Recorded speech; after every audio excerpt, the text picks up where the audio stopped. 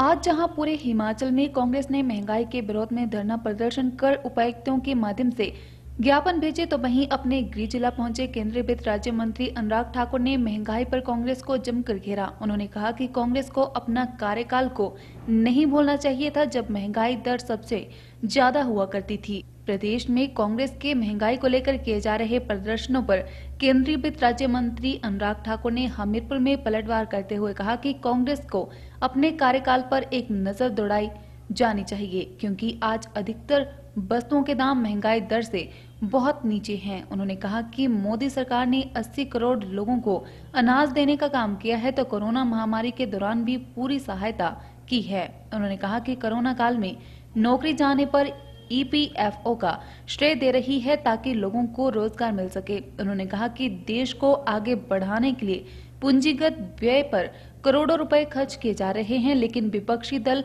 प्रदर्शनों में जुटी हुई है। कांग्रेस को अपने कार्यकाल पर एक नज़र दौड़ानी चाहिए। 2004 से 2014 तक उनके कार्यकाल में महँगाई दर 12 परसेंट, तेरह परसेंट, कभी 11 परसेंट इस तरह से रहती थी। आज अधिकतर वस्तुओं के दाम महँगाई दर से बहुत नीचे भी हैं और लगातार सरकार ने प्रयास किया कि देश को आगे बढ़ाने के लिए और कोरोना की महामारी से बचाने के लिए 80 करोड़ लोगों को 8 महीने तक अनाज देने का काम किया तो मोदी सरकार ने किया। करोड़ों लोगों को, जिसमें 20 करोड़ जनधन खाता धारक महिलाएँ हैं, उनके खाते में इकतीस हज़ार करोड़ रुपया नकद जमा मोदी सरकार ने करवाया। तीन करोड़ वृद्ध विद्या दिव्यांग जिनको पेंशन के अलावा तीन हज़ार करोड़ रुपया मोदी सरकार ने अलग से दिया।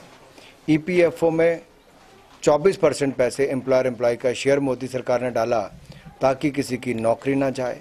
अब नौकरी किसी की गई हो, वापस मिल जाए तो उसके लिए भी अगले दो साल तक ईपीएफओ का शेयर कर्मचारी भविष्य निधि का शेयर मोदी सरकार दे रही है ताकि लोगों को और रोज़गार मिले। प्रोडक्शन लिंक इंसेंटिव स्कीम हो या बाकी सुविधाएँ हों मैन्युफैक्चरिंग और बढ़े तो उसके लिए वो कदम हमने उठाने जा रहे हैं। एक और देश को आगे बढ़ाने के लिए कैपिटल एक्सपेंडिचर, पूंजीगत व्यय जो है, वो साढ़े चौंतीस परसेंट ज़्यादा पिछले साल से कर रहे हैं, लगभग साढ़े पाँच लाख करोड़ रुपया खर्च होगा। इससे देश में रोज़गार की और संभावनाएँ बनेंगी जहाँ एक और अन्न, धन और बाकी रोज़गार देने का काम मोदी सरकार पहले से ज़्यादा कर रही, वहीं पर और इंडस्ट्रियलाइजेशन यहाँ पर हो और रोज़गार उत्पन्न हो, उस दिशा में भी कदम उठाए जा रहे हैं। धर्मशाला में प्रदेश कार्य समिति की बैठक पर केंद्रीय वित्त राज्य मंत्री अनुराग ठाकुर ने कहा कि किसी भी प्रदेश की पार्टी के लिए राष्ट्रीय अध्यक्ष का आना गर्व का विषय होता है। उन्होंने कहा कि केंद्र और प्रदेश का नेतृत्व एक साथ इकट्ठा हुआ था, जिसके चलते बैठक को गंभीरता से लिया है, जिसके आगामी दिनों में परिणाम सामने होंगे। देखिए, किसी भी पार्टी के लिए उसके राष्ट्रीय अध्यक्ष का आना प्रदेश कार्य समिति में गौरव का विषय है और नड्डा जी प्रदेश से हैं।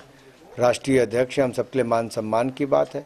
और जब प्रदेश का पूरा नेतृत्व केंद्र और प्रदेश का सब इकट्ठा हुआ तो भारतीय जनता पार्टी ने इस मीटिंग को बड़ी गंभीरता से भी लिया।